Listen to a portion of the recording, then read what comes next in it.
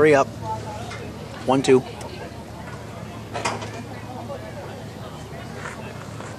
There you go. That's a great base hit. Two bouncer to the fence. One run comes in. Safe! And Bre gets a triple!